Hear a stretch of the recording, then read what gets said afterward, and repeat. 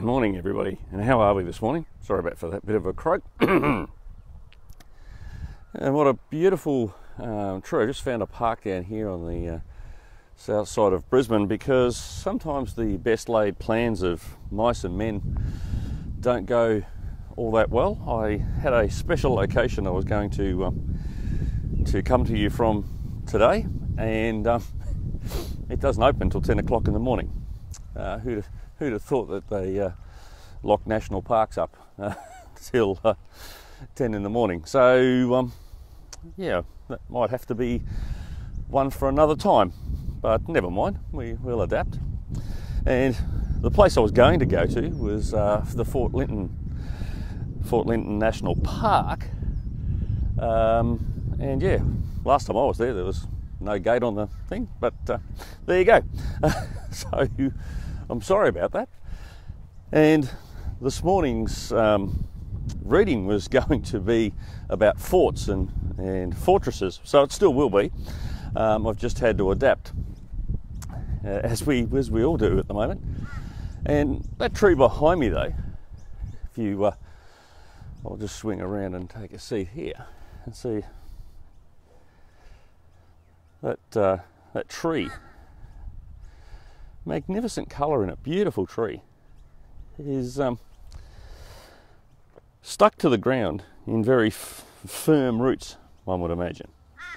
It's a nice little spot down there too, and um, so the psalm I was going to read this morning was Psalm, Psalm 18, and it goes like this: I love the Lord.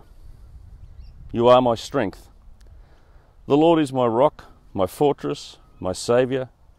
My God is my rock in whom I find protection. He is my shield, the power that saves me, and my place of safety. I called on the Lord, who is worthy of praise, and he saved me from my enemies. It's a beautiful psalm, and it, continues on in that vein to talk about the Lord being our strength, our rock, our surety. And, and as you're probably all woken up to this morning, or you saw last night on the news, things became a little uncertain uh, in our little neck of the woods today. It's been like that for our brothers and sisters in Melbourne for the past three weeks. We may and we pray we don't get to those sorts of levels, but if we do, know one thing for certain that the Lord is our strength and our refuge and our shelter and our help in very present time. And what more do we need? We need each other, we need to hold on to each other, secure each other. And just like this beautiful tree, we need the surety and the firmness that is often unseen. At the bottom of this tree are roots that would spread out in all directions, anchoring it firmly to the ground. You can see the tops of these roots. Well, the Lord is like that. He is those firm roots underneath that hold us up, lift us up, and keep us secure. Let's pray together. Father, just want to thank you for this beautiful morning.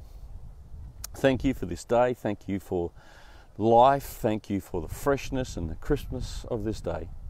Thank you for the beauty that we find in it. Thank you for each other, Lord. But most of all, thank you for your love for us.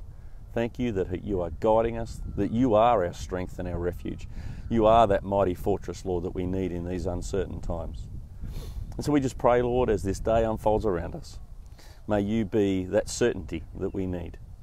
I pray a blessing upon all of us this morning. Lord, we need you now. We need your guidance. In Jesus' name, amen. Well, my friends, I know it was a little bit uh, out of sync today, but uh, hey, we, we get there. We adapt as we go along. I pray that you have a fantastic day. I pray that it is one that is is brilliant for you.